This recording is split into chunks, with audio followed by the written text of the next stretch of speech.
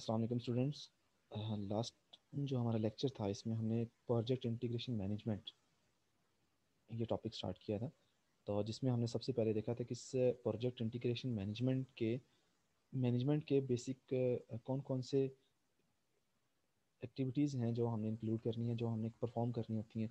तो उसमें सबसे पहले जो है वो आपने जब भी अपने प्रोजेक्ट इंटीग्रेशन मैनेजमेंट करनी है तो आपने एक प्रोजेक्ट चार्टर जो है उसको डेवलप करना है ठीक है? फिर प्रोजेक्ट स्टेटमेंट जो है वो उसको आपने डेवलप करना है फिर प्रोजेक्ट मैनेजमेंट प्लान आपने डेवलप करना है और जब प्रोजेक्ट मैनेजमेंट आपने प्लान बना लिया तो उसको किस तरह से जो है वो उसकी उसको डायरेक्ट करेंगे और उसको मैनेज करेंगे मैनेजमेंट करेंगे अपने प्रोग्राम वालेकुम सलाम। प्रोजेक्ट जो एग्जीक्यूशन होगी उसको किस तरह से आपने करना है ठीक है? प्रोजेक्ट की एग्जीक्यूशन जो है उसकी डायरेक्टिंग और मॉनिटरिंग जो है उसको मैनेज किस तरह से आपने करना है कंट्रोल किस तरह से प्रोजेक्ट को वर्क करना है। और फिर लास्टली जो है वो आपने जब कंप्लीट ये प्रोजेक्ट बना लिया, ठीक है, उसको फिर इंटीग्रेट किस तरह से करना है। और अगर कोई चेंज भी कर रहा है तो उस चेंज को किस तरह से इंटीग्रेट करना है। और लास्ट पे आपका जो फाइनल सॉफ्टवेयर प्रोडक्ट है, या जो आपका प्रोजेक्ट है, उसको आप, वो उसकी क्लोजिंग है। तो ये कंप्लीट हमारा जो सॉफ्टवेयर के प्रोजेक्ट इंटीग्रेशन मैनेजमेंट है, उसमें ये एक्टिविटीज़ इंक्लूड होती हैं। ठीक है? हमने वन बाय वन को देख लिया था कि जो प्रोजेक्ट चार्टर जो है, इसको हमने देखा। प्रोजेक्ट स्कोप स्टेटमेंट है ये आप प्रोजेक्ट चार्टर में कि आपने जब कोई भी एक नया प्रोजेक्ट बनाना चाह रहे हैं तो कस्टमर से आपने रिक्वायरमेंट गैदरिंग करनी है, उनका आपने एनालिसिस करना है। एनालिसिस करने के बाद उन रिक्वायरमेंट से आपने फिर जो है वो बेसिकली एक चार्टर जो है, वो प्रोजेक्ट चार्टर जिसे हम कहते हैं मीन कि आपने कॉन्ट्रैक्ट एक लेना है, उस अपने कस्टमर से कि आपने ये ये रिक्वायरमेंट हमें बताई हैं तो आपने एक एक डिज़ाइन बनाया होता है प्लान प्लानिंग के दौरान तो उस डिज़ाइन को शो करना होता है कि हम इस इस तरह से हमारा प्रोजेक्ट जो है वो वर्क करेगा। तो आप जो है क्या एग्रीड है इससे? ठीक है, हम इतना बजट आएगा, इतना जो है वो इस प्रोजेक्ट के लिए इतना टाइम हमें रिक्वायर्ड है तो वो सारा कुछ आपने अपने कस्टमर के साथ शेयर करना होता है। तो उससे फिर आपने एग्रीमेंट किया ठीक है, वो प्रोजेक्ट चार्टर के अंदर इंक्लूड हो गया फिर आपने किस स्टेटमेंट आपने लिखनी होती है कि ड्यूरिंग प्लानिंग जब आप कर रहे होते हैं, अपने प्रोजेक्ट को आपने किस तरह से आगे फर्दर डेवलप करना है प्रोसीड करना है तो प्लानिंग में आपने देखा था कि हमें जो है वो एक सॉफ्टवेयर स्टेटमेंट बनानी पड़ती है कि आपने अपने सॉफ्टवेयर का स्कोप डिफाइन करना होता है, उसकी बाउंड्रीज उसकी फंक्शनैलिटीज़ उसके जो इनपुट और आउटपुट किस तरह की होगी, वो सारा कुछ आपके स्कोप स्टेटमेंट में आपने डिटेल बतानी होती है। फिर प्रोजेक्ट मैनेजमेंट प्लान था जिसमें हमने देखा था कि प्रोजेक्ट मैनेजमेंट प्लान के अंदर कंप्लीट जो एक्टिविटीज़ हैं, जो सॉफ्टवेयर प्रोसेस की एक्टिविटीज़ उनकी डिस्ट्रीब्यूशन किस तरह से हमने करनी है, कौन सा टीम मेंबर्स को हमने कौन सा टास्क असाइन करना है, ठीक है? और थ्रू आउट द प्रोजेक्ट जब हमारा कंप्लीट होना है तो उसकी मैनेजमेंट किस तरह से होगी? सॉफ्टवेयर की मैनेजमेंट किस तरह से होगी? जो हमने मैनेजमेंट टूल्स हमने यूज़ करने हैं प्रोजेक्ट के लिए, वो उनको किस तरह से इम्प्लीमेंट करना है? जब उसको बाद फिर आप अपना जो वर्क है, वो प्रोजेक्ट के ऊपर स्टार्ट कर देते हैं तो फिर उसकी, उसको डायरेक्ट करना डायरेक्टिंग और मैनेजिंग प्रोग्राम प्रोजेक्ट एग्जीक्यूशन कि आपने जब अपने प्रोग्राम अपना जो प्रोजेक्ट है, उसके ऊपर वर्किंग स्टार्ट कर दी है तो उस, वो जो उसके डायरेक्टिंग से मुराद ये है कि जिस, जो गोल्स आपने सेट किए हैं स्टार्ट पे प्लानिंग के दौरान में जो आपने बताया कि हमारा प्रोजेक्ट इस तरह से वर्क करेगा तो वो जो आपने ऑब्जेक्टिव सेलेक्ट किए हैं, जो माइलस्टोन्स आपने सेलेक्ट किए हैं तो उसी को फिर क्या जब आप during program execution project execution क्या हम उसी गोल्स की तरफ़ मूव कर रहे हैं, ठीक है? और उसको मैनेज किया जाता है फिर। और फिर जो है लास्ट जब आपने फिर जब कोई कोई, जब आप प्रोजेक्ट बना रहे होते हैं तो उसकी मॉनिटरिंग और कंट्रोलिंग भी साथ साथ उस, अपने वर्क कर रहे होते हैं। जब ये इस तरह से आपका प्रोजेक्ट कंप्लीट आपने डिफरेंट मॉड्यूल्स के ऊपर वर्क करते हुए प्रोजेक्ट की एक्टिविटीज़ को डिफरेंट जो इंजीनियरिंग टेक्निक्स हैं, उनको यूज़ टूल्स और टेक्निक्स को यूज़ करते हुए कर लिया वर्क जो है तो फिर आपने आपने क्या करना होता है अपने सारे वर्क को जो है इंटीग्रेट करके अपने प्रोजेक्ट को क्लोज करना होता है। तो ये स्टूडेंट हमने लास्ट लेक्चर्स के अंदर ये इंक्लूड ये पढ़ लिया था कि प्रोजेक्ट प्रोजेक्ट इंटीग्रेशन मैनेजमेंट से क्या मुराद है और इसके अंदर जो, ये डिफरेंट जो एक्टिविटीज़ हैं इसकी इसकी हमने स्टेटमेंट्स जो है हम अंडरस्टैंड कर ली थी। तो आज जो है वो हम बेसिकली देखेंगे कि पर ये जो प्रोजेक्ट की सिलेक्शन अगर आपने करनी है ठीक है? तो strategies for planning and project selection what does it mean तो strategy planning involves determining long-term objectives, predictive future trends, and projecting the need for the new products and services. तो स्टूडेंट जब भी आप कोई भी नया प्रोजेक्ट आप बनाना चाह रहे हैं ठीक है? तो प्रोजेक्ट की जो सिलेक्शन की जाएगी, वो बेसिकली जो न्यू ट्रेंड्स आपके चल रहे हैं, ठीक है? और जो आपको प्रोडक्ट की जो सर्विसेज़ रिक्वायर्ड हैं, उसकी बेस पे आप कर रहे होंगे।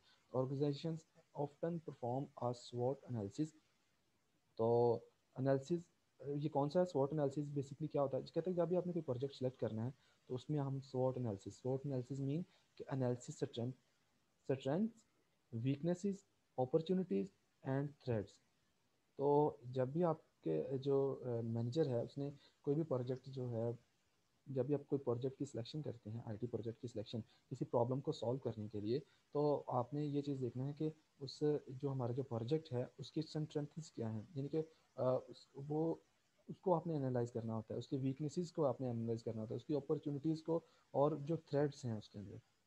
यानी कि थ्रेड्स हम है कि सिक्योरिटी के हवाले से। कुछ ऐसे सॉफ्टवेयर होते हैं ना आपके जहाँ पर आपकी जो सीक्रेट इन्फॉर्मेशन जो है वो आप जो है वो शेयर कर रहे होते हैं। प्रोजेक्ट तो उस, उसको आपने देखना है कि उसको मेक श्योर करना है कि कौन सा प्रोजेक्ट जो है वो हमें ज़्यादा सिक्योरिटी प्रोवाइड कर रहा है। ठीक है? और जिसकी वीकनेसेस कम है, किसी की, जिसकी स्ट्रेंथ कम है जिसकी जो है वो उसकी जो स्ट्रेंथ अच्छी है। तो as part of the strategy planning organisation जो स्ट्रेटजी प्लानिंग हम कर रहे होते हैं प्लानिंग यानी कि ड्यूरिंग मैंने आपको बताया था जब हम रिक्वायरमेंट गैदर यूज़र से कर लेते हैं तो नेक्स्ट जो फ़ेज़ होता है वो प्लानिंग का होता है। कि आपने यूज़र की रिक्वायरमेंट के मुताबिक अब प्लान करना होता है कि हम प्रोजेक्ट को इस इस वे में बनाएँगे। ये, इस इस ये जो है हमारी कॉस्ट होगी और इतने टाइम स्केजूल में इसको बनाएँगे। ये ये हमें ह्यूमन रिसोर्स रिक्वायर्ड है। तो स्ट्रेटजी प्लानिंग जो ऑर्गेनाइजेशन करती हैं उनमें वो क्या उनमें एक्शन परफॉर्म होते हैं। आइडेंटिफाइंग पोटेंशियल प्रोजेक्ट्स कि कौन कौन से प्रोजेक्ट जो हैं, वो हमारे लिए एफिशिएंट हैं, हमारी ऑर्गेनाइजेशन के लिए। Use realistic methods to select which project to work on के कौन सा जो प्रोजेक्ट है, वो ज़्यादा एफिशिएंट वर्क कर रहा है। ये हम देखेंगे, अभी हम डिफरेंट टाइप्स के जो है ना, वो आप मेथड पढ़ेंगे कि जिसमें आप एनालिसिस कर रहे होंगे प्रोजेक्ट्स का। तो formalise project initiation by issuing a project charter तो प्रोजेक्ट चार्टर जो है, वो वो भी मैंने आपको बताया कि एग्रीमेंट जो आपको, आप कर रहे होते हैं कस्टमर्स के साथ। तो उसको जब आप, उसको उसकी भी जब आपने कोई भी प्रोजेक्ट सेलेक्ट करना है, ठीक है तो फिर आपने उसका चार्टर जो है, वो कंफर्म करना होता है कि आया, हम इस प्रोजेक्ट के ऊपर वर्क करें। तो जब वो एग्री हो जाती है, आपके जो कस्टमर्स हैं, फिर आप उसके ऊपर वर्क स्टार्ट कर देते हैं। तो आईटी प्लानिंग प्रोसेस के अंदर क्या क्या चीज़ें इंक्लूड होंगी? कि जब आपने प्लानिंग करनी होती है किसी भी इंफॉर्मेशन टेक्नोलॉजी के प्रोजेक्ट के लिए, उसको डेवलप करने के लिए तो उसके लिए क्या क्या इंक्लूड होंगे? तो इंफॉर्मेशन टेक्नोलॉजी प्लानिंग स्टेजेस तो सबसे पहले उसने बताया कि information technology strategy planning ties information technology strategies to mission and vision of the organization, identify key business areas. तो सबसे पहले जो है वो आपका मेन जो है वो मकसद, वो आपने अपना, जो ऑर्गेनाइजेशन का विज़न है और जो बिज़नेस एरिया की जो बिज़नेस एरिया है, उसमें उसका जो मिशन है, यानी कि आपके बिज़नेस प्रोस्पेक्टिव के लिहाज से आपने अपने जो कोई भी जो प्रोजेक्ट की प्लानिंग आपने करनी है, वो अपनी ऑर्गेनाइजेशन के जो आपका विजन है, जो बेसिक विजन है या जो बेसिक नीड है, जो रिक्वायरमेंट है, उसके अकॉर्डिंगली करनी होती है। Second business area analysis document की business process that could benefit for from information technology तो क्या हम इंफॉर्मेशन टेक्नोलॉजीज़ को बिज़नेस परस्पेक्टिव के लिहाज से यूज़ कर सकते हैं? ठीक है? तो ये आपका सेकेंड आपका पॉइंट है। Third project planning define potential projects define project scope benefits and constraints कि प्रोजेक्ट प्लानिंग जब आप कर रहे हो तो आपने क्या क्या चीज़ें जो हैं वो उसमें इंक्लूड करनी होती हैं? उसमें आपने अपने प्रोजेक्ट की जो डेफिनेशन स्कोप डेफिनेशन होती है, वो इंक्लूड करनी होती है। यानी कि वो आपने जो आइडेंटिफाई करनी होती है कि हमारा स्कोप क्या है प्रोजेक्ट का। फिर हमारे, क्या वो जो हमारा जो हम प्रोजेक्ट बनाना चाह रहे हैं, यानी कि जिस प्रॉब्लम को हम कंप्यूटर के ज़रिए या इंफॉर्मेशन टेक्नोलॉजी के ज़रिए सॉल्व करना चाह रहे हैं, क्या वो हमारी ऑर्गेनाइजेशन के लिए बेनिफिशियल भी होगा? ठीक है? और कौन कौन से कंस्ट्रेंट होंगे उस प्रोजेक्ट को यूज़ करने के लिए? ये आपके प्रोजेक्ट प्लानिंग के लिए करना होता है। फिर लास्ट जो है वो रिसोर्स एलोकेशन होती है। Select information technology projects assigning resources तो फिर आपने डिफरेंट टाइप के जो कम, अब देखिए, कोई भी आपके जो आईटी प्लानिंग प्रोसेस है, यानी कि जब आपने आईटी को यूज़ करना है अपने बिज़नेस के लिए तो फ़र्स्ट ऑफ़ ऑल आपने आईटी आईटी जो इंफॉर्मेशन टेक्नोलॉजी है, उसकी स्ट्रेटजी प्लानिंग करनी है कि हमारे ऑर्गेनाइजेशन का विजन क्या है। फिर उसके लिए आपने अपना बिज़नेस एरिया एनालिसिस करना है, फिर प्रोजेक्ट प्लानिंग करनी है और रिसोर्स की एलोकेशन करनी है। ये रिसोर्स की एलोकेशन जब आपने प्रोजेक्ट सेलेक्ट कर लिया, फिर आपने उसको उसके लिए क्या क्या हमें हार्डवेयर रिक्वायर्ड है क्या क्या सॉफ्टवेयर रिक्वायर्ड है अपनी ऑर्गेनाइजेशन में उसको इम्प्लीमेंट करने के लिए, उसको यूज़ करने के लिए। ठीक है? तो वो आपने सेलेक्ट इंफॉर्मेशन टेक्नोलॉजी प्रोजेक्ट्स तो आपने प्रोजेक्ट से सिलेक्ट करना है रिसोर्स एलोकेशन के लिए और फिर आपने उन, जो जो उसको सॉफ्टवेयर या हार्डवेयर रिक्वायर्ड है, वो रिसोर्सेज प्रोवाइड कर देने ताकि फिर ये एक कंप्लीट आपका आईटी का जो एक प्लानिंग प्रोसेस है कि जब आपने एक इंफॉर्मेशन टेक्नोलॉजी को अपनी और अपना सिस्टम जो है वो एक इंफॉर्मेशन टेक्नोलॉजी को यूज़ करते हुए ऑर्गेनाइजेशन को रन करना तो उसके लिए ये ये चीज़ें इंक्लूड होंगी। उसने बता दिया, बताया हमें कि फोर जो है वो आपने चीज़ें देखनी होती हैं। Information technology strategy planning business area analysis आपने करना है प्रोजेक्ट प्लानिंग करनी है और सोर्स एलोकेशन करनी है। ये आपके आईटी प्लानिंग प्रोसेस का प्रोसेस की डिवीज़न है। अब नेक्स्ट स्टूडेंट आप देखते हैं कि इसमें जो आपने नेक्स्ट जब कोई भी प्रोजेक्ट आपने सेलेक्ट करना है अपनी ऑर्गेनाइजेशन के लिए, उससे पहले इसने बताया कि aligning IT with business strategy अब देखिए आईटी की आईटी जो है, इसकी इंफॉर्मेशन टेक्नोलॉजी की अपनी कुछ स्ट्रेटजीज कुछ अपने जो हैं, वो इसके रूल्स होते हैं इसको यूज़ करने के। इस तरह जो बिज़नेस स्ट्रेटजीज होती हैं बिज़नेस की भी बिज़नेस को रन करने के लिए भी कुछ स्ट्रेटजीज होती हैं, कुछ आपने प्री डिफाइन जो है, वो रूल्स बनाए होते हैं। तो इन दोनों को हमने, अगर आपने आईटी को यूज़ करना अपने बिज़नेस के लिए बिज़नेस वर्क के लिए तो उसके लिए इसको अलाइनिंग करना बहुत ज़रूरी है। This is consistently the top concern for C I O research show the supporting exclusive business objective in the number one reason cited for why organisation in invest in I T project तो कह रहा है कि सबसे पहले जो है वो uh, जो आपके टॉप लेवल की जो मैनेजमेंट होती है सी वगैरह होते हैं, वो आपकी बिज़नेस की स्ट्रेटजीज को देखते हैं कि हमारे बिज़नेस को क्या नीड है कि हम इंफॉर्मेशन टेक्नोलॉजी को यूज़ करते हुए जो अपने बिज़नेस जो है वो उसको ग्रूम कर सकें, उसको इन्हेंस कर सकें और एफिशिएंटली उसको वर्क अपने बिज़नेस को जो है वो रन कर सकें। तो an organisation strategies plan should guide the IT project selection process तो जो आपने आपके ऑर्गेनाइजेशन के स्ट्रेटजीज प्लान है कि आपके ऑर्गेनाइजेशन किस तरह से रन करनी है ठीक है? उसके जो स्ट्रेटजीज प्लान होते हैं, वो आपको गाइड करते हैं आईटी प्रोजेक्ट की सिलेक्शन के लिए। कि हमने कौन सा जो प्रोजेक्ट है, उसको अपनी ऑर्गेनाइजेशन के लिए यूज़ करना है।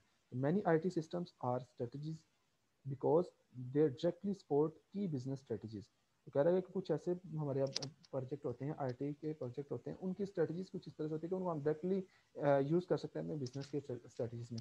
यानी कि लेट्स सपोज़ आपको एक अपनी जो कॉलेज का मैनेजमेंट एक आपके पास सिस्टम है तो उसके जो मैनेजमेंट सिस्टम है वो मोस्टली ऐसा ही होता है कि जो जो कुछ स्टैंडर्डाइज मैनेजमेंट प्रोसेस होता है जो आपका जिसमें आपके सेमेस्टर्स को आपके अटेंडेंस को आपके जो स्टूडेंट्स की हैं आपके टीचर्स के फालतू उनकी सैलरीज वगैरह को उनकी अटेंडेंस को मैं तो ये एक, एक जो वो स्ट्रेटजीज उनकी एक एक जो ऑर्गेनाइजेशन की स्ट्रेटजीज होती हैं किसी कॉलेज की स्ट्रेटजीज होती हैं वही मोस्टली जब हम कोई जो है कमर्शियल सॉफ्टवेयर बना रहे आईटी का प्रोजेक्ट बना रहे होते हैं कॉलेज मैनेजमेंट सिस्टम वगैरह तो उसकी भी स्ट्रेटजीज जो हैं, वो ऑलमोस्ट उसको उसके अकॉर्डिंगली ही होती हैं। तो वो डायरेक्टली भी हम उसको सपोर्ट कर रही होते हैं, हम उसको यूज़ कर सकते हैं। जस्ट लिटिल बिट चेंज हमें करना पड़ता है, कुछ और रिक्वायरमेंट इंक्लूड कर देता है। कोई जो कॉलेज का जो है, वो हेड है, वो कहीं हमें इस तरह से ये हमारे जो है फ्रंट एंड होना चाहिए वेबसाइट का, जो अगर हम सपोज़ के कॉलेज मैनेजमेंट की एक कॉलेज की अपनी एक वेबसाइट है तो ये ये चीज़ें उसके अंदर मैनेज होनी चाहिए। तो कुछ काफ़ी ऐसे कंपोनेंट होते हैं जो री यूजेबल हो सकते हैं हमारे जो प्रोजेक्ट के। जो ऑलरेडी पहले हमने आईटी के प्रोजेक्ट बनाए होंगे कॉलेज मैनेजमेंट के। जस्ट हम उसी को इंटीग्रेट करेंगे बिज़नेस का जो उनके रूल्स होंगे, जो उनकी बिज़नेस रिक्वायरमेंट है, उसके अकॉर्डिंगली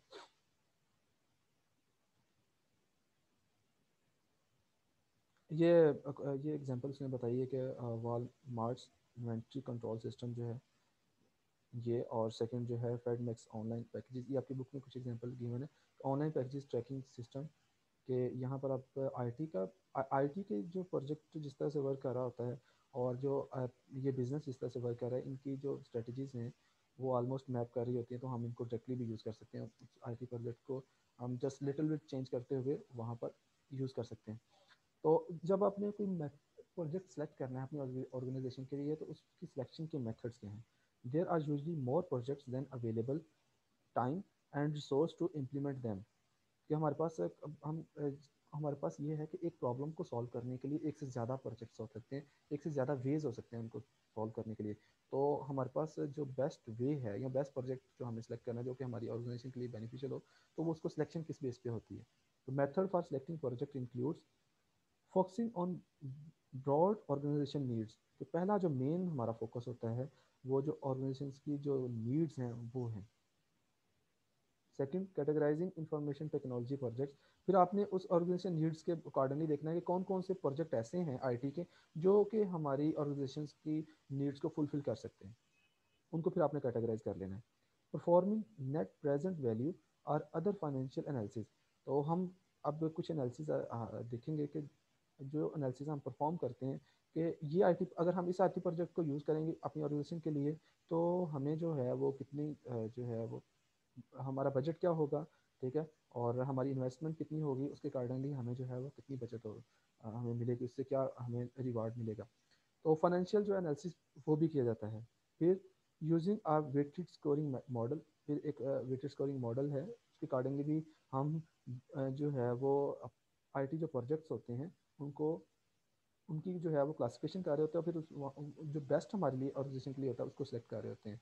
फिर इम्प्लीमेंटिंग अ बैलेंस स्टोर ये भी एक टेक्निक है कि आप इसको यूज़ करते हुए ये डिफरेंट जो आपने क्या करना है कि जो जो ऑर्गेनाइजेशन की नीड है, उसके लिहाज से जो आईटी प्रोजेक्ट्स आपने मौजूद हैं, उसको सॉल्व करने के लिए, अपनी प्रॉब्लम्स को ऑर्गेनाइजेशन नीड को पूरा करने के लिए, उसके लिए फिर जो बैलेंस क्योर की टेक्निक है ठीक है बैलेंस क्योर की से बात ये है कि आपके पास जो बिज़नेस जो आपके बिज़नेस नीड्स वगैरह हैं बिज़नेस की जो एक्सपेंसेस वगैरह हैं, क्या आईटी का जो प्रोजेक्ट है, जब हम उसको यूज़ करें तो हमारे जो है वो, क्या हमें उससे कुछ रिवार्ड वगैरह जो है वो, अगर एक आईटी प्रोजेक्ट के विदाउट आईटी प्रोजेक्ट हमें क्या उसके जो है वो अपनी जो ऑर्गेनाइजेशन के जो बिज़नेस था, उससे हमें क्या क्या बेसिकली वो उसके जो है वो रिवार्ड था? और जब हमने इसको आईटी प्रोजेक्ट को इम्प्लीमेंट किया तो फिर क्या रिवॉर्ड है तो उसको हम इसकी, इसको इस बेस पे भी हम जो अपना आईटी जो प्रोजेक्ट की सिलेक्शन है, वो कर सकते हैं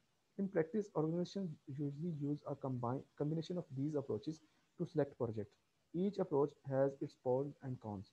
ये उसने कुछ अप्रोचेस बताई हुई हैं यहाँ पर हम इन अप्रोचेस को देख, देखेंगे भी, ये अप्रोचेस कौन कौन सी हैं, किस तरह से ये वर्क कर रही होती हैं तो ये स्टूडेंट ये आपने जब कोई भी अपना प्रोजेक्ट आईटी का प्रोजेक्ट अपने ऑर्गेनाइजेशन के लिए सिलेक्ट करना तो उसके लिए उसने डिफरेंट जो मेथड्स हैं वो बताए हैं। सबसे पहले मेन फोकस आपका ऑर्गेनाइजेशन नीड पर होना चाहिए। फिर आपने आर प्रोजेक्ट की कैटेगराइज करनी है और वो उसमें से जो आपका ज़्यादा एफिशिएंट आपकी ऑर्गेनाइजेशन के लिए होगा, उसको आपने सेलेक्ट करना है। तो अब उसको फाइनेंशियल जो है वो एनालिसिस भी किया जाता है। तो focusing of on broad organisation needs इसमें जस्ट यही बताया गया है कि आपने जब कोई भी प्रोजेक्ट आपने बनाना है तो आपकी जो ऑर्गेनाइजेशन बेसिक नीड्स हैं वो उसके फुलफिल करना चाहिए। उसको वो सॉल्व कर वो जो प्रॉब्लम्स आपके ऑर्गेनाइजेशन के हैं उसको सॉल्व करना चाहिए सॉफ्टवेयर को। तो it is often difficult to provide strong justification for many I T projects and estimate their financial values but everyone agrees there have a high value तो कह रहे कि जब आप, आप आपके ऑर्गेनाइजेशन जो नीड्स हैं उसके अकॉर्डिंगली जो आपने आई टी प्रोजेक्ट की सिलेक्शन करनी है तो उसको हर एक प्रोजेक्ट की जो है उसको हम फाइनेंशियल एस्टिमेट करना या फिर उसकी जो है वो देखना कि क्या हमारी ऑर्गेनाइजेशन के लिए बेनिफिशियल है, ये इतना ईजी वे नहीं है। हमें इसके लिए कुछ एनालिसिस करने पड़ते हैं। It is better to measure gold रफली than to count pennies precisely there three important criteria for projects कौन कौन से क्राइटेरिया जब there is a need for a project there are funds available there is a strong will to make a project success तो जब आप कोई भी जो प्रोजेक्ट आपने चूज़ करना है, ठीक है तो उसके उस प्रोजेक्ट की नीड क्या है, उसके लिए क्या हमारे लिए फ़ंड अवेलेबल हैं और क्या जो उसकी there are strong will to make the project success तो क्या हमारी जो है वो, एक हमारी विलिंग भी है कि हम इस प्रोजेक्ट को यूज़ कर सकें? तो स्टूडेंट ये जब भी आपने कोई भी प्रोजेक्ट आपने सेलेक्ट करा अपने एजुकेशन के लिए तो वो आपकी नीड पे, आपके फंड पे और आपकी विलिंग पे जो है वो डिपेंड कर रहा होता है।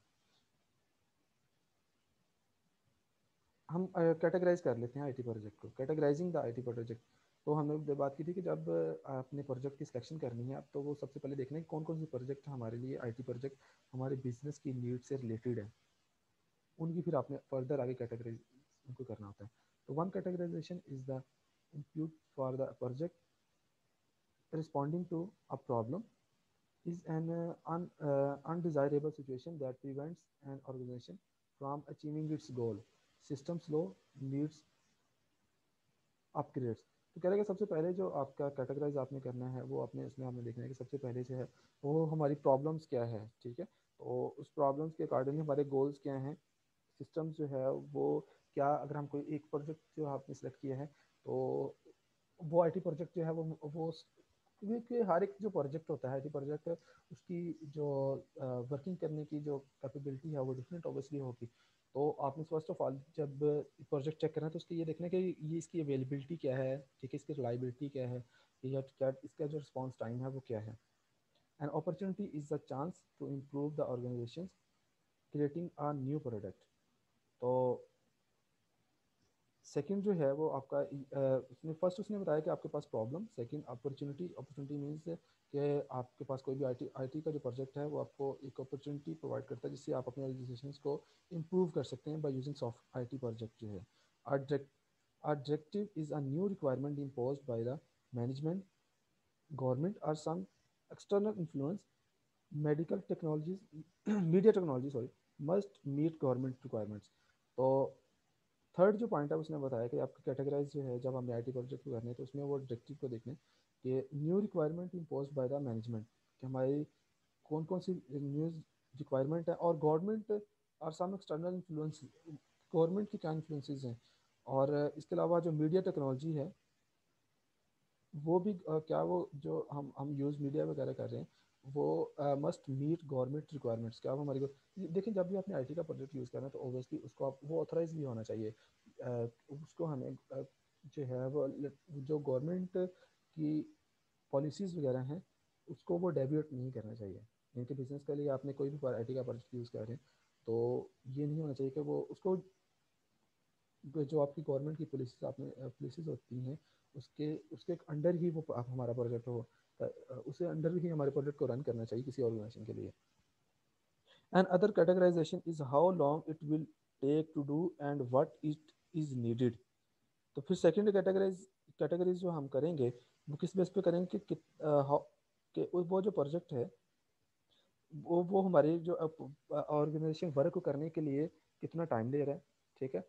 और कब जो है वो आ, हमें प्रोजेक्ट के वो रिक्वायर्ड हो आईटी प्रोजेक्ट की टाइमिंग जो है वो क्या है? यानी कब हमें वो प्रोजेक्ट जो है वो रिक्वायर्ड हो अपनी बिज़नेस नीड के लिए। Another is overall priority of the project फिर उसके बाद एक ओवरऑल प्रायोरिटी भी आपकी है कि आप आईटी प्रोजेक्ट आपके पास अवेलेबल हैं। तो हमारी जो ऑर्गेनाइजेशन जस्ट उसमें एक ही एक ही एक ही प्रोडक्ट पे काम नहीं हो रहा है। ऑर्गेनाइजेशन के अंदर भी आपके पास डिफरेंट आगे सब कैटेगरीज होती हैं वर्किंग की। तो उस लिहाज से आपने लेट्स सपोज़ के अगर इम्प्लीमेंट करना है तो किसी भी प्रोजेक्ट को तो वो फिर आपने आईटी प्रोजेक्ट को देखना है कि कौन सा प्रोजेक्ट जो है वो हमारे किस मॉड्यूल के लिए हमें, किस ऑर्गेनाइजेशन ऑर्गेनाइजेशन के वर्क के लिए हमें जो है वो लाजमी तौर पर ही हमें किसी आईटी प्रोजेक्ट की ज़रूरत है। तो आप फिर वो वाला आईटी प्रोजेक्ट जो है वो उस अपने बिज़नेस के उस पार्ट को सॉल्व करने के लिए उसको इम्प्लीमेंट करने के लिए आप यूज़ कर सकते हैं। जो उसने कैटेगराइज बताई है कि किस किस बेस पे आप, आप आई टी प्रोजेक्ट जो होते हैं उनको कैटेगराइज कर सकते हैं। अब नेक्स्ट जो है वो स्टूडेंट मैंने आपको बताया था कि आईटी जो प्रोजेक्ट होता है इसकी सिलेक्शन में हम फाइनेंशियल एनालिसिस भी करते हैं। तो ये आपके पेपर के पॉइंट ऑफ़ व्यू से भी अहम है, जिसमें आपका रिटर्न ऑफ़ इन्वेस्टमेंट की टेक्निक और नेट प्रेजेंट वैल्यू इस टाइप के जो जो हैं, वो न्यूमेरिकल टाइप क्वेश्चन भी आ सकते हैं। तो हम इनको देख लेंगे, ये किस तरह से वर्क कर रहे होते हैं। तो financial concentration are often are important considerations in selecting projects तो वो कौन कौन से projects are never ends in themselves financially, they are always a mean to an end cash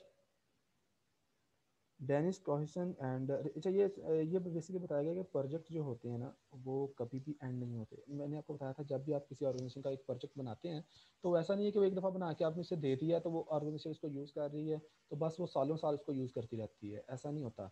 बल्कि वो जो प्रोजेक्ट होता है उसमें वो लाजमी तौर पर with the passage of time technology में जो चेंज आए या बिज़नेस का जो स्ट्रेटजीज वगैरह हैं प्लान्स हैं, उनमें चेंज आए तो उसके लिहाज से हमें अपने प्रोजेक्ट को भी चेंज करना पड़ता है। तो जब आपने अपने प्रोजेक्ट को चेंज करना है तो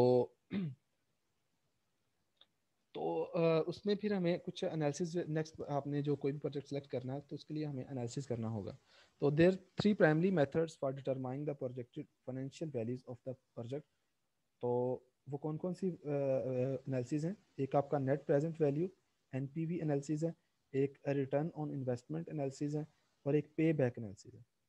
Project management managers must become familiar with the language of the business executive in order to make their case.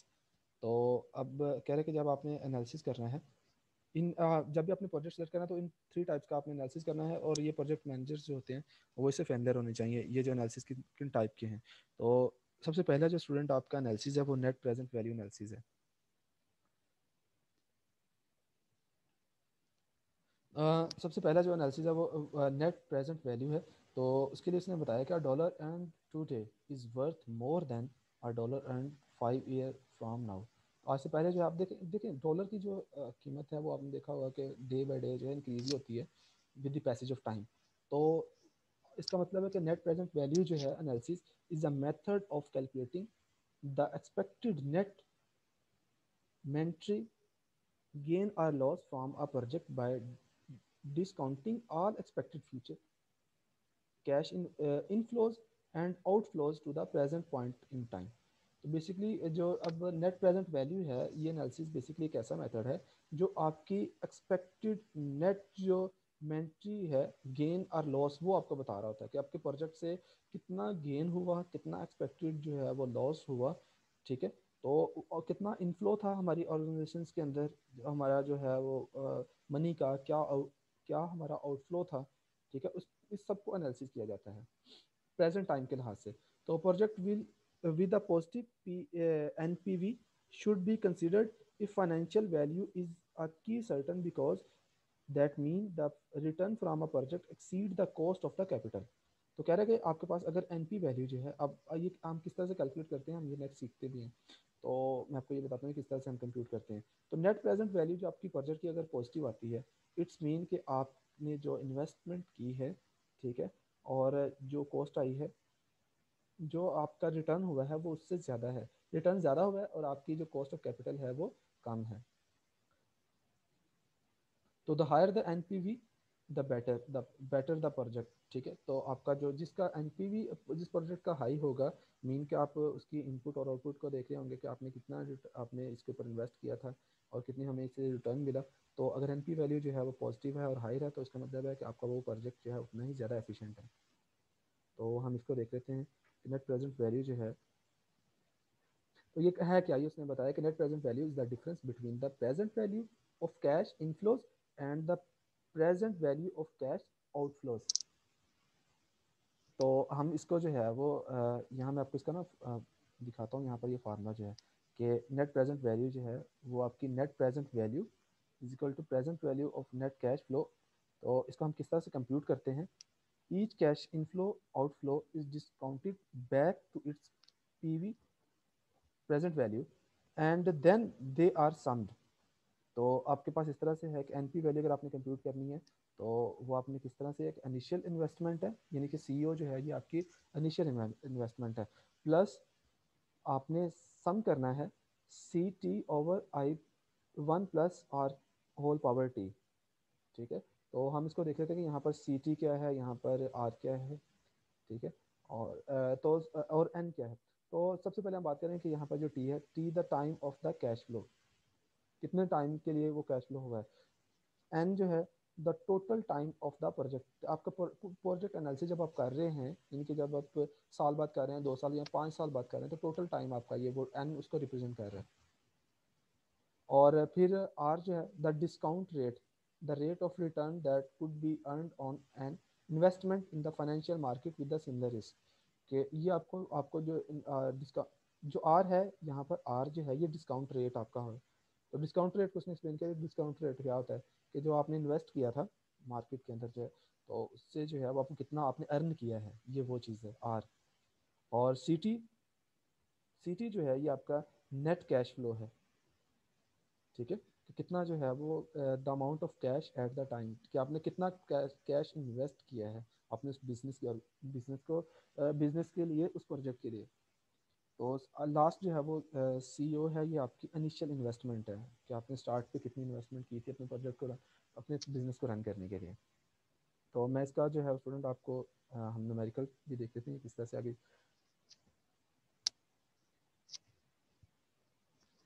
अब यहाँ पर देखें कि उसने ना यहाँ पर बताया कि आपका ये टोटल जो है वो टाइम ईयर्स आपने आप बताया कि ईयर्स में आपको टाइम बताया कि आपके पास ये फ़र्स्ट ईयर है, ठीक है? ये सेकंड ये थर्ड ये फोर्थ ईयर तो फ़र्स्ट ईयर में जो है वो आपके पास जो आप, आपने इन्वेस्ट किया है, वो वन थाउज़ेंड डॉलर है one thousand dollar one thousand one thousand dollar तो एक्सपेक्टेड कैश इनफ्लो जो है वो इस तरह से कि one thousand one thousand dollar जो है इन्वेस्ट हो रहा है आपकी बिज़नेस के लिए, ठीक है? तो फिर आपके पास है यहाँ पर।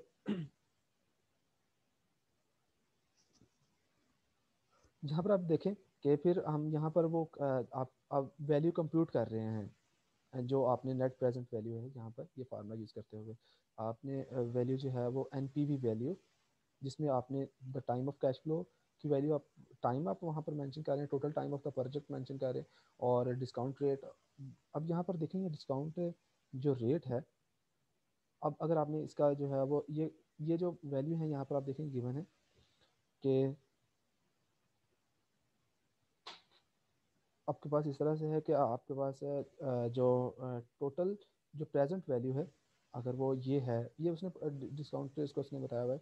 टोटल प्रेजेंट वैल्यू अगर आपके पास इस तरह से है कि three four four six dollar तो आप इसके ऊपर डिस्काउंट रेट जो है वो सिक्स परसेंट है। तो ये जो ये जो डिस्काउंट रेट जो है, अगर वो सिक्स परसेंट है, अगर तो आपके पास ये उसकी वैल्यू है, आपकी कैश जो आपने इनफ्लो किया है तो कैश जो आपने इन्वेस्ट किया है, अगर उसकी इतनी वैल्यू है तो उसके लिए अकाउंट डिस्काउंट रेट जो है वो सिक्स है।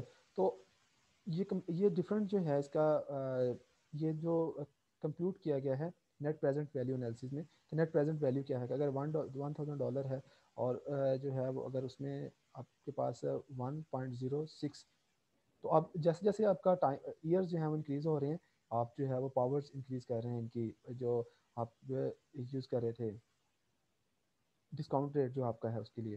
तो आप देख रहे हैं यहाँ से पर नेट प्रेजेंट वैल्यू आपको गेट गेट हो रही है, हर ईयर की, हर ईयर की आपने गेट की है। तो इसको जो है वो ये, यहाँ पर ये एग्जांपल आपको क्लियर होगी ज़्यादा कि नेट प्रेजेंट वैल्यू जो है वो एग्ज़ाम हम किस तरह से कंप्यूट कर रहे होते हैं। तो ये आपका डिस्काउंट रेट आपने बता दें कि हमारा इतना रह, रहा है, ठीक है? कि हमें कितने परसेंट अपने बिज़नेस में डिस्काउंट आपने दिया था। और प्रोजेक्ट वन का first year second year almost ये फाइव ईयर का बताया गया। और टोटल जो इन्वेस्टमेंट बताई गई फ़र्स्ट ईयर में इतनी, इतना बेनिफिट हुआ। सेकंड ये बेनिफिट्स आपको डॉलर साइड में गिवन है। कॉस्ट जो आपने वहाँ पर इन्वेस्ट की थी, वो गिवन है। और कैश फ्लो आपको गिवन है कि कैश जो है, वो आपने कितना जो है, वो वहाँ पर इन्वेस्ट किया था। ठीक है कैश तो ओवरसीज ये कैश फ्लो आपको गिवन है टोटल अब नेट प्रेजेंट वैल्यू जो है, वो अगर आपने कंप्यूट करनी है तो फार्मूला क्या है नेट प्रेजेंट वैल्यू का? कि net present value is equal to B one net present value हम किन किन की चीज़ किन किन को यूज़ करते हुए कर रहे हैं? नेट प्रेजेंट वैल्यू है बी वन बी सिक्स और बी एफ़ एफ़ सिक्सटीन तो ये बेसिक ना ये वो उसको एक्सेल शीट के अंदर अप्लाई अप्लाई किया गया है। एक्सेल शीट में हमने अगर नेट प्रेजेंट वैल्यू कंप्यूट करनी है तो बी वन जो है, वो आपका ये, यानी कि ये टेन परसेंट जो है बी वन डिस्काउंट रेट जो है, वो वैल्यू है। फिर बी सिक्स है बी और यहाँ से आपके पास ये सिक्स है। कि ये वैल्यू कैश फ्लो की वैल्यू हम यहाँ पर पुट कर रहे हैं। फिर एफ़ सिक्स है एफ़ और यहाँ पर ये सिक्स जो है एफ़ सिक्स ये आपकी जो कैश फ्लो की फाइव ईयर की जो कैश फ्लो की टोटल जो अपने पाँच साल की कैश फ्लो हुआ है, वो वैल्यू इन वैल्यूज़ को कंप्यूट करते हुए आपने जो है ये नेट प्रेजेंट वैल्यू कैलकुलेट की है कि नेट प्रेजेंट वैल्यू जो है, वो आपकी टू थ्री वन सिक्स है। यानी कितना आपको जो है एडवांटेज हुआ जब आपने आपने फ़र्स्ट ईयर में इतना जो है वो बेनिफिट हुआ सेकंड में इतना थर्ड में इतना तो टोटल ओवरऑल जो आपको नेट प्रेजेंट वैल्यू जो है वो ये बता रही है कि ये पॉजिटिव आपको आप मिल रही है टू थर्टी वन सिक्स इसका मतलब है ये प्रोजेक्ट जो है वो एफिशिएंट रहा है। तो अब यहाँ पर उसने बताया कि प्रोजेक्ट टू जो है, उसने बताया कि इसकी अगर हम नेट प्रेजेंट वैल्यू देखें तो यहाँ ये वही इसकी भी उसने बताई कि पर वीक पर ईयर हमने ये इन्वेस्ट किया था। इनिशियल इन्वेस्टमेंट हमारी ये थी और जब कंप्यूट किया, वही फार्मूला जो है, वो बी वन वही सेम के सबसे पहले आपने उसने जो है वो डिस्काउंट रेट जो है बी वन मीन के आपने डिस्काउंट रेट और बी थर्टीन मीन के आपने जो है वो कैश फ्लो की वैल्यू जो है इनिशियल जो फ़र्स्ट ईयर की कैश वैल्यू है वो और इनसे तो जो net flow net present value compute की है, इन दोनों नेट प्रेजेंट वैल्यू पर गौर करें। अब अगर आप कैश फ्लो को देखें कैश फ्लो जो है, अगर आप इसको सम करें तो वो फाइव थाउज़ेंड ही आ रहा है। इसका भी फाइव थाउज़ेंड डॉलर इसका फाइव थाउज़ेंड डॉलर है। लेकिन नेट प्रेजेंट वैल्यू अगर आप कंप्यूट करें, दोनों के प्रोजेक्ट दोनों प्रोजेक्ट्स की तो वो आप देख रहे हैं कि उसमें डिफरेंस है। यहाँ पर two three one six dollar आई है और यहाँ पर three two one six dollar आई है। तो note that total are equal but and net present values are not because of the time time value of money तो स्टूडेंट इसका मतलब है फिर इनमें से कौन सा ज़्यादा एफिशिएंट आपका प्रोजेक्ट है? ये सेकंड जिसकी नेट प्रेजेंट वैल्यू जो है वो ज़्यादा है। तो जिसकी नेट प्रेजेंट वैल्यू ज़्यादा होगी, वो प्रोजेक्ट आपके लिए ज़्यादा एफिशिएंट होगा।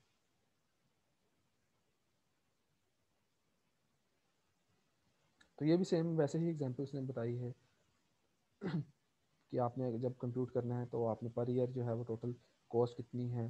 डिस्काउंट रेट कितना है, ठीक है डिस्काउंट की बेनिफिट्स कितने हैं तो इसको आप सारे चार्ट चार्ट अब हम ना ऐसा सेकंड जो इसकी है, यहाँ पर उसने बताया कि नेट प्रेजेंट वैल्यू कैलकुलेशन के लिए क्या क्या आपने करना है calculate the net present value use net present value function in Excel तो एक्सेल के अंदर हमारे पास नेट प्रेजेंट वैल्यू का फ़ंक्शन ऑलरेडी पहले से मौजूद होता है तो उसमें net present value discount rate तो देखिए हम वो मैंने आपको बताया था लास्ट स्लाइड में डिस्काउंट रेट होता है कैश फ्लो की रेंज होती है तो calculate total discount benefits and total discount cost ये आपने कैलकुलेट करना होता है। Net present value is benefit या फिर cost benefit net present value अगर आपने कैलकुलेट करें तो वो आप कैसे कैलकुलेट कर रहे होते हैं कि बेनिफिट माइनस कॉस्ट के कितना जो है वो बेनिफिट हुआ, उसमें से कॉस्ट जो टोटल कॉस्ट प्रोजेक्ट की आई है, उसको माइनस करें। तो नेट प्रेजेंट वैल्यू जो है वो आपको वो प्रोवाइड हो रही होती है। तो नेट प्रेजेंट वैल्यू से आप एनालिसिस कर सकते हैं कि कौन सा प्रोजेक्ट जो है वो हमारे लिए ज़्यादा बेस्ट है। और तो स्टूडेंट सेकंड जो है वो रिटर्न ऑफ़ इन्वेस्टमेंट है। ये जो एग्जांपल यहाँ पर शो की गई थी, ये देखें यहाँ पर रिटर्न ऑफ़ इन्वेस्टमेंट कंप्यूट किया गया है। तो हम ऐसा कि फिर कमिंग लेक्चर के अंदर रिटर्न ऑफ़ इन्वेस्टमेंट पढ़ेंगे कि रिटर्न ऑफ़ इन्वेस्टमेंट क्या होती है, इसको कंप्यूट किस तरह से किया जाता है। तो स्टूडेंट आपने net present value net present value जो है ये देखी। हम हमारे पास पाँच या दस साल आपने एक प्रोजेक्ट का यूज़ किया है। उसके बाद फिर आप एनालिसिस करते हैं कि हमारे पास किस तरह से कैश फ्लो और जो कैश फ्लो था, ठीक है हमने जो इन्वेस्टमेंट की थी, उसके अकॉर्डिंगली हमारे लिए क्या ये प्रोजेक्ट एफिशिएंट रहा है, इससे हमें जो है वो बेनिफिट हुआ है इस ऑर्गेनाइजेशन को। तो अगर वो बेनिफिशियल रहा है तो आप उस उस प्रोजेक्ट को ही यूज़ करेंगे आगे फर्दर जो है अपनी अपनी ऑर्गेनाइजेशन को रन करने के लिए। तो लेकिन अगर फ़र्ज़ करें कि वो आपका जो एनपी की जो वैल्यू है, वो लेस है तो आप क्या करेंगे, फिर जो दूसरा कोई प्रोजेक्ट आप फिर हमें उसको रिप्लेस करना पड़ेगा कि सेकंड जो प्रोजेक्ट है वो सेलेक्ट करना पड़ेगा। तो प्रोजेक्ट का एनालिसिस जो आपने करना है, वो बेसिकली जो आपकी इन्वेस्टमेंट है कॉस्ट है, उसकी बेस पे आप यहाँ पर देख रहे हैं कि कर रहे हैं।